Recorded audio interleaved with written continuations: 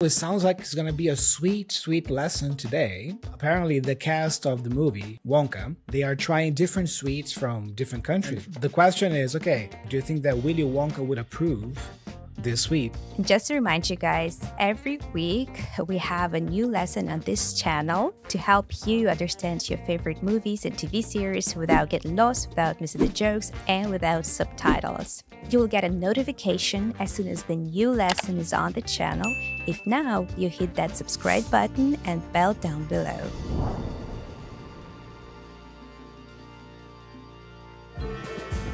These are called Sonho de Valsa. What a treat this is. Does anybody speak Portuguese? Nope. All right, neither do I. However, it stands for a waltz dream. That's nice. A waltz A dream. waltz, A waltz dream. dream. Ah. Waltz is in the dance. Yes. Love the shape. Yeah, I love the Like a- shape. like a- Yeah. This is more promising from the Yes. look of it. Like a little hat. Oh, nice. Got a touch of Ferrero Rocher. This is delicious. These It are actually like a very known in Yeah. Brazil to be given as a romantic gesture. Oh, really? Oh. Yes. Oh, that's Yeah, I loved So these are my romantic gesture to you. Oh. Thank you. Amazing Thank you, film. Do you think Wonka would like these? Personally, these are my favorite. Yeah. You know, Kayla's not digging them. I mean, no, it, it- it just tastes like kind of like a Kit Kat to me. Kit Kats are one of my Kit Kats are great. Yeah. What do y'all Kit think? Kats are one of my favorites too, but Yeah. it does, there's something else oh. in there. Is the nuts Is in there it? coconut Praline, praline, praline. praline? Stuffed with a cashew cream. Cashew. That's Yeah, There it is. That's what you were looking for. You, are we a cashew fan? I am now. You are now. Are you a fan? I see a smile. Yeah, it's delicious. Slightly in love with it. How about you, Olivia? Would Sweet you like this as a romantic gesture? I mean, I'd like anything as a romantic gesture. I bet. Beggars can't be choosers. Very fair. I love it. I mean, like, I do it for my daughter and for myself regularly. I like tasting different sweets so much, and I like to see which one I'd like more. If you watch the movie later, we'll leave the link for our viewers to watch the full episode. So, by the end of the movie, they actually chose the Brazilian one as their favorite one. Could you tell me more about this Sonho de Valsa? Yeah, it's just like they said, it's a very popular sweet here in Brazil. You can buy it separately, but normally it comes in boxes of assorted chocolate. There is another variant of that one, and I actually have it here. Let me show Oh you. my This is the one that I actually prefer, Uh-huh. right here. This is called Ouro Branco, or translated to English would be white gold, you know, something like that. You know, and uh, this is actually my favorite. This is like the counterpart of Sonho de Valsa. Yeah.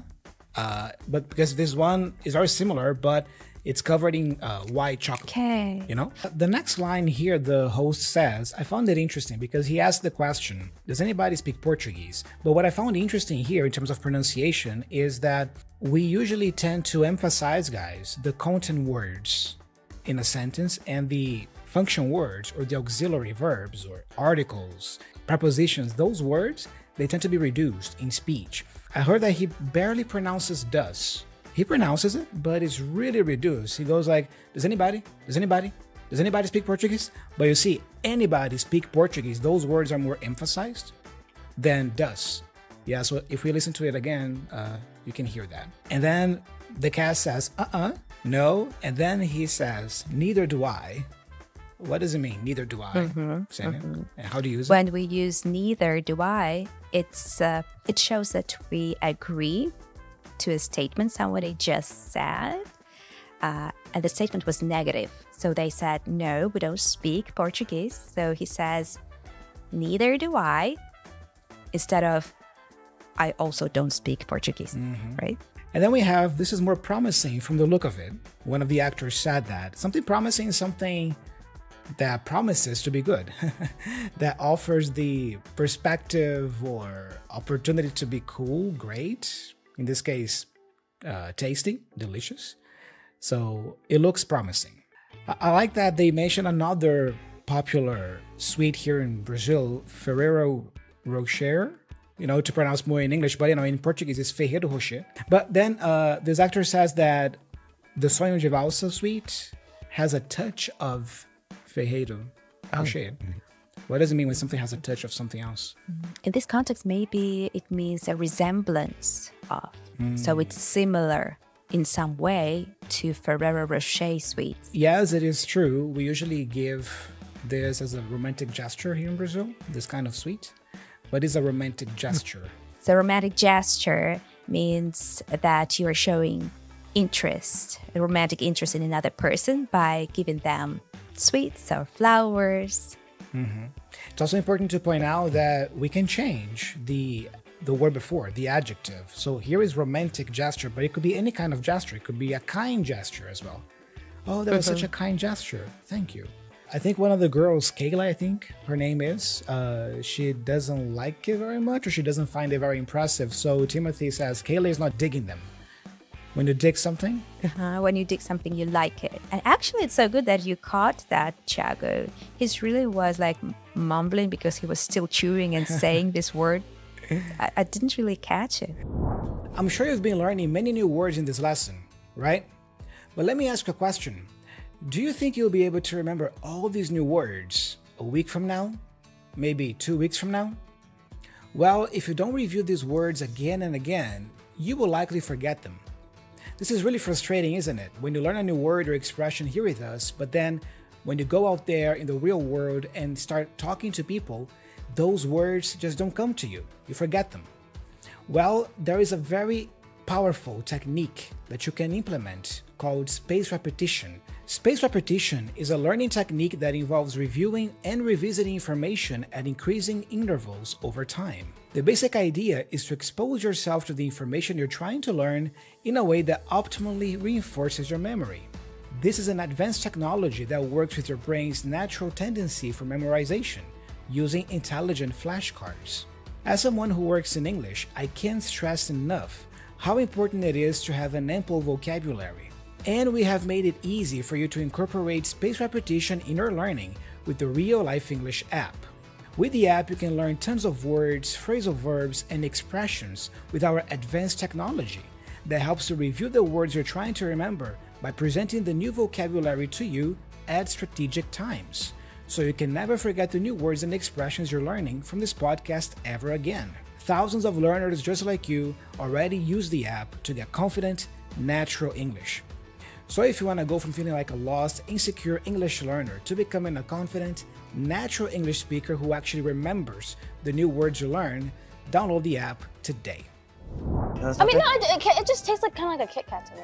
Now, this girl, she says, I mean, it just tastes like kind of like a Kit Kat to me. First of all, the mm-hmm. pronunciation here, kind of like, she says, kind of like a, kind of like a. But what I want to point out, actually, aside from the pronunciation here, guys, is that these are fillers or filler words or expressions. Fillers can be helpful, I would say, but you don't want to overuse them because I think it doesn't make you sound so fluent in the language because she could have just said, it just tastes like a Kit Kat to me. But maybe it shows her doubt. Like she wasn't sure. Maybe she was searching for the word or trying to really under- taste, understand. Is it really like Kit Kat? Yeah. So she used those filler word for that to give her, uh, to give herself time to think. Yeah, which is something normal that we do uh, usually, right? When we are thinking of what to say, we feel this need to keep talking.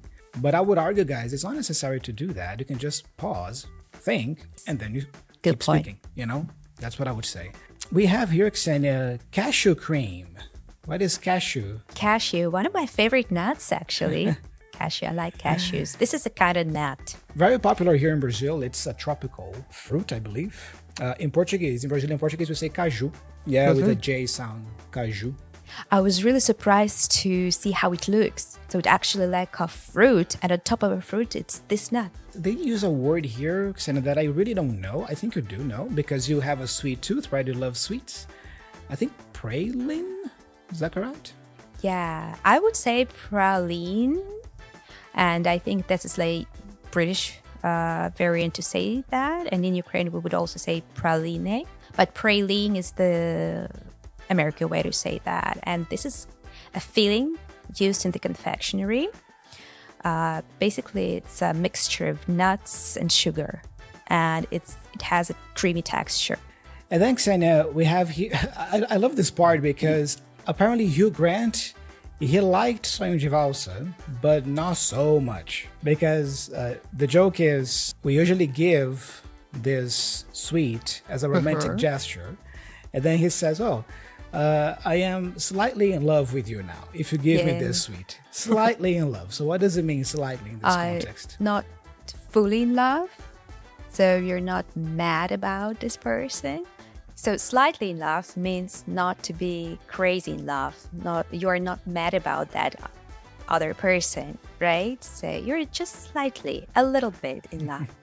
I like that. And finally, we have here this really nice idiom beggars can be choosers because I think Olivia, she says, "Oh, I like I like anything." As a romantic gesture, and then the other actor responds, "Beggars can be choosers." You know what that means? I don't know exactly. I've never heard this um, like idiom or this phrase in any context. But if beggars are those who are asking for something, or like, for example, people on the street who are asking for money, like they can choose what to get as a romantic gesture in this case, right? Like they what they are given, they accept as a romantic gesture. What is your take on it? No, well, that's that's exactly it. I mean, I like the fact that you explain the words individually. If you get something for free, you can't complain about it. That's basically Yeah. what it means. Yeah. So, Yeah. if somebody gives you something for free, you can choose or you can complain about it. I mean, you have to accept it and be happy with it. But now we want to hear from you guys. What is one or two typical sweets in your country? Talk about your sweets, share about them here in the comment section below. We want to learn about names of sweets that you guys like out there. Global citizens, thank you very much for learning with us. But you should know that this was just a short clip from the full lesson. The full lesson is available on the Real Life English app, so come on, download the app and continue listening there. You're gonna learn even more cool stuff. See you soon.